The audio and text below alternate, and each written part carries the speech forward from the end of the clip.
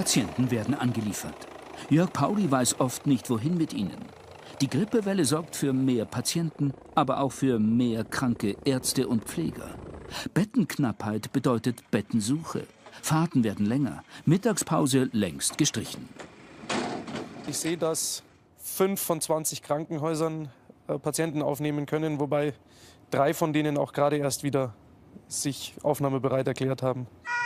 Wie kann es sein, dass eine Grippewelle unser Gesundheitssystem lahmlegt?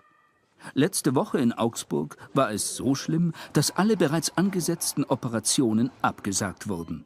Auch Tumorpatienten, um Notfälle wie Lungenentzündung oder Herzinfarkt überhaupt noch versorgen zu können. Denn es gab einen Krankheitsstand von 342 krank gemeldeten Mitarbeitern im ärztlichen wie im pflegerischen Bereich. Und das reißt natürlich Lücken in ein System, was schon primär labil ist. In ganz Süddeutschland sind Ärzte und Pfleger und Kliniken am Anschlag. Es gibt keinen Puffer mehr. Es gibt keinen Puffer mehr. Ich glaube, ich glaube, es gibt pflegerisch wie ärztlich keinen Puffer mehr.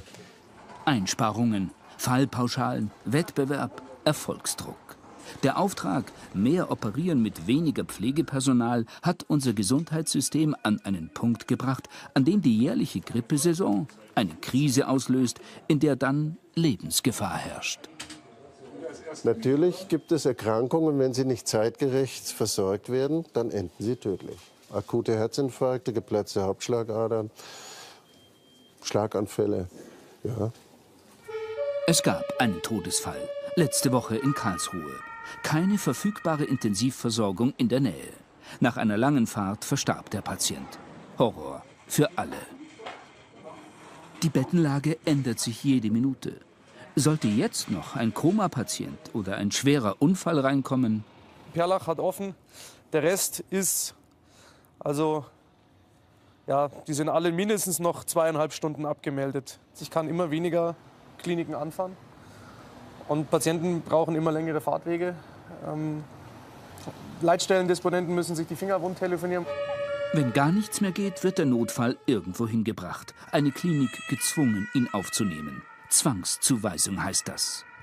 Anästhesist Peter Hoffmann weiß, wie das ist, wenn man sich als Klinik abgemeldet hat und dennoch gezwungen wird. Das war einer der seltenen Momente, wo ich auch einen Moment der Panik niederkämpfen musste, weil ich wusste, jetzt kommt ein Notarzt mit einem schwer verletzten Kind und ich hatte keine Idee, ob wir das Kind adäquat versorgen können. Weil wir wussten, alle Chirurgen stehen am OP-Tisch und operieren jetzt. Wir können keinen Notfall versorgen. Ich habe dann schon so im Kopf Szenarien durchgespielt, wie ich Chirurgen, die am OP-Tisch eigentlich operieren, zwinge, runterzukommen in den Schockraum und dieses Kind zu behandeln. Ja, das war dann zum Glück nicht so schlimm. Das war aber reines Glück. Und das dass eine angemessene medizinische Versorgung darauf basiert, dass man Glück hat, wenn es darauf ankommt. Das ist nicht mein Verständnis von Medizin. Das muss immer gehen. Notfallversorgung ist ein Grundrecht. Wie kann es sein, dass sicherheitsrelevante Infrastrukturen nicht mehr gegeben sind? Verantwortlich will niemand sein. Die Betroffenen können nicht einmal streiken, denn die ganze Klinik befindet sich im Notfallmodus.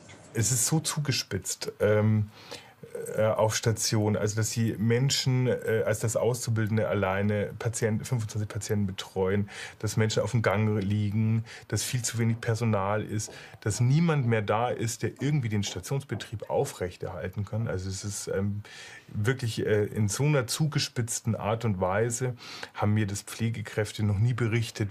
Wenn man immer wieder Dienste hat, wo eine äh, Pflegekraft 22 oder 24 Patienten betreut. Das ist natürlich dann sehr schwierig. Das ist körperlich anstrengend, das ist psychisch anstrengend und dann eben weiß, ne, also da ist heute was schiefgelaufen oder da ist heute was schiefgelaufen und wenn nur eine Schwester mehr auf Station gegangen äh, gewesen wäre, hätte das anders laufen können. Ich glaube schon, dass ähm, wir in einer Situation sind, ähm, wo Menschen sterben aufgrund des Personalmangels. Das ist so. Aber das wird natürlich nie so gesagt. Und es ist auch kein medizinischer Indikator eines Todesfalls. Es schreibt ja kein Arzt auf den, Sterbe, auf, die Sterbe, auf den Sterbeschein, schreibt ja kein Arzt wegen Personalmangel gestorben. Und das in einem Land wie Deutschland. Dienstagnacht. 22 Uhr. Alle Notaufnahmen im Raum München abgemeldet. Bis auf Murnau. 70 Kilometer. Hoffentlich bleiben sie gesund. Wenn nicht, viel Glück.